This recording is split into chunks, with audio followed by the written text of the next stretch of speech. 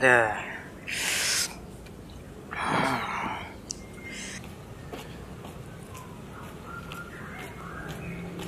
Woi, Wan. Sorry nih agak telat gua. Ah, kebiasaan lo. Gue tungguin dari tadi juga. Ah, lu kan udah kenal lama sama gua. Telat itu udah jadi kebiasaan gue. Lu harus maklumin gue, Wan. Lah, kurang ajar lo. Biasa aja dong kalau jangan mengkerut gitu. Oh iya, ngomong-ngomong, yang lo bilang barang asik mana? Ini bro. Kemarin nih, teman gua baru pulang dari Paris. Dia ngasih oleh-oleh ini nih, wine. Beuh, rasanya bro nih. Beda sama wine-wine yang biasa kita rasain. Wih, boleh juga dong gue nyicipin. Hmm, Mantap juga nih kayaknya. lah emang. Tapi lu jangan bilang sama anak-anak. Soalnya tau gak lu kenapa? Ini cuma tiga botol bro. Itu juga gue umpetin di kolong kasur. Biar orang-orang rumah pada nggak tahu. Tenang lawan, lo kan udah kenal sama gua. Lo kira gue ibu-ibu gosip, suka ngasih-ngasih Nih. tahu. Oke, sip, us. Wis. Nah. Hmm, mana? Wah, keras juga nih. Iyoi. Oh, kalau gue namanya Wan. Eh, lemesin, lemesin, lemesin, lemesin. Nah, nah, nah, kan enak, ya kan? Lemesin. Wah, sekarang badan gue Wan. Alah, itu mah akal-akalan lu aja. Ah, Mantep nih emang nih. Beda emang. Produk lokal sama produk interlokal. Mantep banget. Woi, pada ngapain lu? Lu yang emang berdua dari dulu ngapain berubah? Gak ada keinginan buat obat apa? Wah, apaan sih, Mat? Jangan bikin gaduh aja. Gue dikasih ikwan. Wah, kok lu nyalain gua? Kan lu sendiri yang mau tadi. Apaan? Udah deh, lu berdua jangan salah-salahan. Lu nggak pernah datang ke majelis ilmu sih. Kerjanya cuma nongkrong, nongkrong gak berfaedah doang lu. Denger nih, ini lagi Ustadz Ahmad mau ceramah. Eh, gua tuh begini berdua sama lu, karena gua tuh perhatiin sama lu. Please ya denger gua sebentar. Geser, geser. Ah, lu. Sini, sini. Gaya-gayaan lu. Nih, minuman kayak gini tuh dalam Islam disebutnya homer.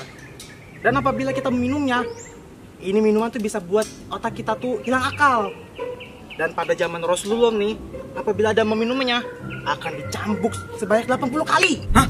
80 kali? Serius lu? Nah kan, segitu aja lu kaget.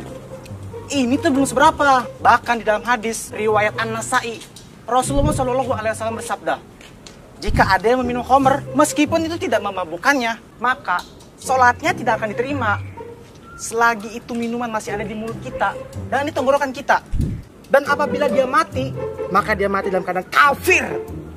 Dan apabila minuman ini memabukkannya, maka sholatnya tidak akan diterima selama 40 hari. Masa sih, Mat? Gara-gara minum wine gini, kita bisa di kafir sih.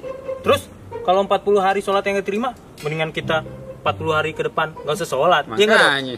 Yeay, gak gitu juga lah. Maksud kafir dalam hadis ini, itu bukan berarti dia keluar dari agama Islam. Menurut para ulama, dia tetap sholat lima waktu. Tapi sholat itu nggak diterima oleh Allah Subhanahu wa Ta'ala. Jadi, seperti orang kafir kan? Tapi bukan berarti kewajiban sholat itu jadi gugur.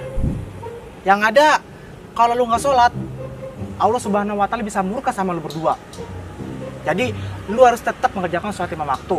Meskipun selama 40 malam sholat lu nggak diterima. Ah, berarti 40 hari ke depan sholat kita nggak ada pahala dong. Cuma dapat capek doang. Nah, bukan itu aja. Bahkan dalam hadis riwayat Ahmad dijelaskan, orang yang minum khamr sholatnya tidak diterima selama 40 malam. Tapi jika dia bertobat, Allah Subhanahu wa taala akan mengampuni dosanya. Akan tetapi jika dia tidak bertobat dan mengulangi kesalahannya lagi, maka Allah Subhanahu wa taala mempunyai hak untuk memberi dia minum dari sungai Kabal. Lu tahu nggak sungai Kabal itu apaan? Kabel itu bukan kalau dibacok sama mempan, Mat. Ye, itu kebal, woi, kebal. Eh, Gak ada mat. Kabar apaan? nih, kabal itu adalah nanahnya penduduk neraka. Hmm.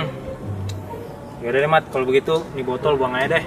Ngeri juga gue denger azabnya dari lu. Lu setuju nggak lu kalau di botol kita buang? Gue sih setuju aja lah. Itu minuman lo juga, bukan punya gue. Ayo tobat Tuhan. Lah, kok jadi gua?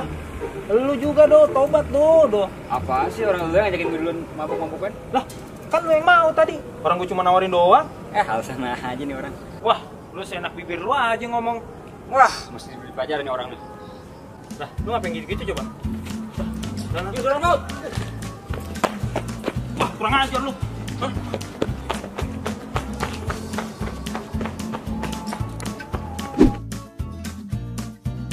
gitu dan apabila dia mati matinya dalam keadaan takdir kan Iya. ayo dan apabila mem- kalau nggak sholat bisa bisa Allah subhanahu wa Dia nih, hah? Dia tahu dia. Hah? Ah, apa ya? Sini lama nih, dia, dia nih. Gua tahu. Satu, dua, tiga, action. Jangan dikelitikin nama Oh, akhirnya. masuk kamera Dua, tiga, action. Kabel yang nggak dibaca kamu. Dua, tiga, Sorry, bro. Ya, Taruh ah, tiga.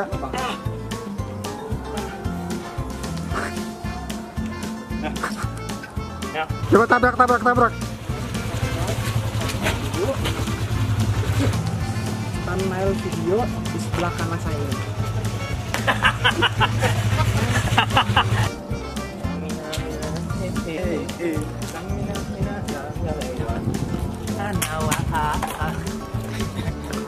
Lagi Wan, jogetnya Wan. Kurang Wan. Nah teman-teman, terima kasih sudah menonton sketsa Lampung Islam kali ini. Buat teman-teman nih yang belum subscribe, silahkan di subscribe dan klik notifikasi di sebelahnya untuk mendapatkan informasi video Lampung Islam berikutnya. Nah buat teman-teman nih yang belum menonton sketsa Lampung Islam sebelumnya, bisa klik thumbnail video di sebelah kanan ini nih. Nah teman-teman, uh, terima kasih sudah menontonnya. Semoga kita bisa ketemu di sketsa Lampung Islam berikutnya. Wassalamualaikum warahmatullahi wabarakatuh.